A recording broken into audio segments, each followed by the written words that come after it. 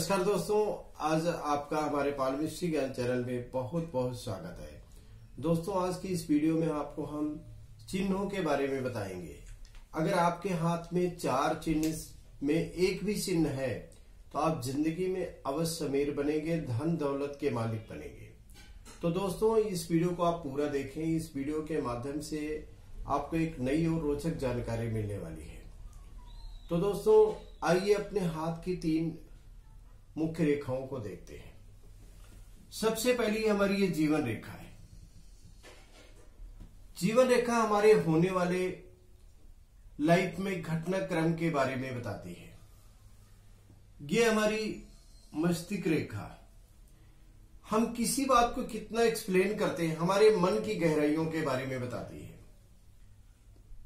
ये हमारी हृदय रेखा हम किसी के साथ कितना अटैचमेंट है, उनसे हमारा कितना इमोशनल प्यार है, उसके बारे में बताती है। तो सबसे पहले आज हमने चार चिन्हों की बात की है। अगर ये चार चिन्ह है तो आप जीवन में अवश्य ऊंचाइयों पे पहुँचेंगे, आप अमीर अवश्य बनेंगे। सबसे पहले ये हमारे शुक्र का पर्वत है, इसको हम शुक्र का पर्वत बोलते हैं।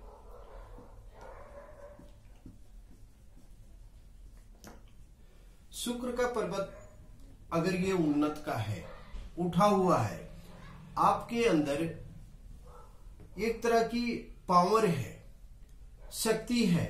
शुक्र क्या चीज़ है? कलाओं के बारे में बताता है आपके। आपके जितनी भी लग्जरियस चीज़ें होते हैं, उसका प्रतीक माना जाता है।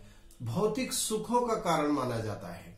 अगर आपके हाथ में ये मोटी मोटी रेखाएँ ये आपको इस चीज़ का संकेत बता रही हैं कि आपके लाइफ में जो होने वाली घटना है, वो आपकी काफ़ी अच्छी है और आपको लग्जेरियस लाइफ देगी।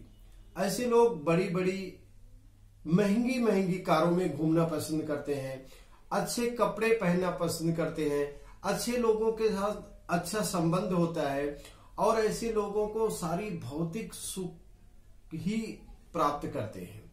और ऐसे लोगों का जो जीवन यापन होता है ना, काफ़ी सुंदर होता है।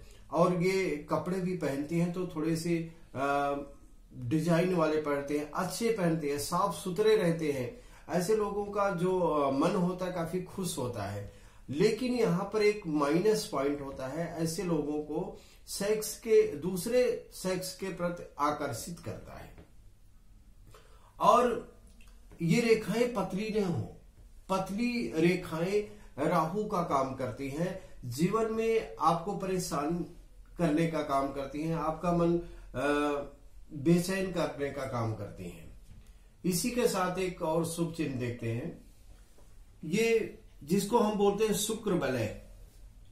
जिस भी व्यक्ति के हाथ में शुक्र का बलय बना हुआ है, वो पैदा होते उसका घर परिवार संपन्न होना शुरू हो जाता है। उसकी भाग में वृद्धि होने शुरू हो जाती है। ऐसे लोगों का जो जीवन है ना आम आदमी के मुकाबले, उसको अधिक मात्रा में धन अर्जित करता है। और वो जैसे जैसे उसकी स्थिति बढ़ती है वैसे वैसे वो धनवान बनता चला जाता है। और ऐसे लोग जो होते हैं अगर जिसके पास शुक्र का बल है आप जहाँ पर आपके साथ वाले दस हज़ार कमा रहे हैं तो आप उनसे दस गुना अधिक मात्रा में धन कमाएँगे। इसी के साथ एक और चिन्ह देखते हैं। जैसे कि ये हमारी हृदय रेखा है। हृदय रेखा और ये हमारा जो क्षेत्र है, ये पर्वत का क्षेत्र है, इस क्षेत्र से अब ये जो हमारा हृदय का रेखा है, उसके बीच में जो स्पेस बनता है ये स्पेस क्या करता है? आपको अपने लाइफ में अधिक खुशहाली के बारे में बताता है। आपको जीवन में जो चीज़ें मिलती हैं, काफ़ी अधिक मात्रा में मिलती है। जितना ये स्पेस ज़्यादा होगा, उतना ग्रहों की स्थिति अच्छी बनती है और आपको जीवन में एक ऊंचाइयों पर लेके जाता है और ऐसे लोगों को जीवन में अधिक मात्रा में धन कमाते हैं और खुशहाल की ज़िंदगी जीते हैं। इसी के साथ एक शुभ साइन और देखते हैं। ये जिसको हम बुद्धाइज बोलते हैं। इस हमारे अंगूठे के पर्वत पर। ये बुद्धाइज बनता है। ऐसे लोग जो होते हैं, काफ़ी तीव्र बुद्धि वाले तेज माइंड वाले होते हैं। हर चीज़ को परखने के और समझने के अंदर, इनके अंदर एक कला होती है।